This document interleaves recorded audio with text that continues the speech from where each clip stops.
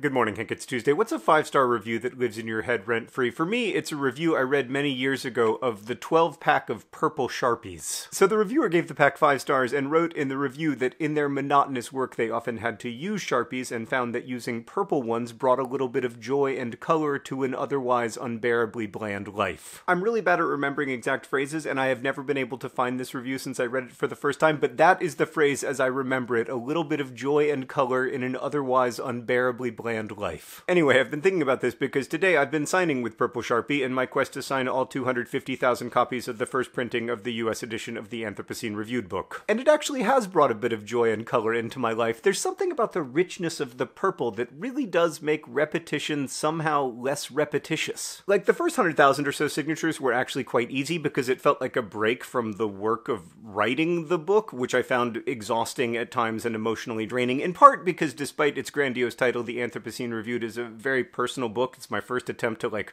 write about my actual self. Now, I want to be careful not to imply that writing is difficult work because I have done difficult work and writing is not it. But for me, at least, it does require like an intense level of focus and concentration, which can be a little emotionally exhausting. And this time around, because it was about me, it felt at times, for better or worse, like my whole self was being poured into the book, which is a little terrifying. So, anyway, signing was a break from that. Also, anyone who's been around here a while knows how much I love a beautifully foolish endeavor. Like, I am completely enamored with Double Agent, the World of Warcraft player who plays the game as a pacifist panda, acquiring experience points primarily via picking flowers, which he has done literally millions of times to achieve the highest rank in the game. I'm also a fan of Kurt J. Mac, who has been walking in one direction in Minecraft for the last 10 years in search of the far lands. And I also love artwork that involves a lot of repetition and careful mark making, like this piece by Hiroyuki Doi or this one by Robin O'Neill. And when I make drawings, I tend to do so in an obsessive way, like uh, this drawing of 17,000 circles, or actually no circles, 17,000 failed attempts at circles. I don't know why I'm drawn to art as endurance efforts, but whatever, I like them. They bring me joy. Oh, but I can't let it go at that because I have to hyperanalyze because that is my nature. Like the art critic Robert Hughes wrote of the peculiarly modernist hell of repetition, and I think I like work that turns that on its head and finds color and joy in repetition. Slightly off topic, but Hughes thinking that repetition is a modern phenomenon phenomenon strongly implies to me that he never attempted agriculture because like if you think that picking flowers in World of Warcraft is repetitious, try thinning row after row after row of carrot seedlings. Anyway, the point is the first 100,000 or so signatures were easy and now it has become harder and I still have to sign for 300 hours and my hand hurts a little and this is the part where a test of endurance, even an exceptionally silly test of endurance actually becomes a test. Like the book comes out in 3 months and obviously it has to be printed before that, so there is not that much time time left in which to sign, and there are a lot of marks left to make. Like, I remember when I signed 150,000 times for The Fault in Our Stars, at the end I was signing like 12 or 14 hours a day, and I would be thinking, oh, I don't know if I can do this, and oh, this is a lot. And then along would come the purple Sharpie to remind me that I made this promise and I can keep it. Sometimes a bit of color and joy is enough. Hank, I'll be signing live on YouTube for an hour this afternoon. I promise it'll be very boring, but it will be purple the whole way.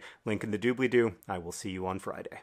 Oh, P.S. As it says on my 2021 vision board, here's to perseverance, both the rover and the value. Hank, thank you for making me a fan of Mars so I could openly weep when that rover landed on the red planet. By the way, remember when, like, not scheduling haircuts was my biggest problem? Oh god, remember when I thought hair emergencies were emergencies? I want to go back in time and just, like, pinch that little boy on his cheeks. Alright, now I'm really gonna go because I got a sign.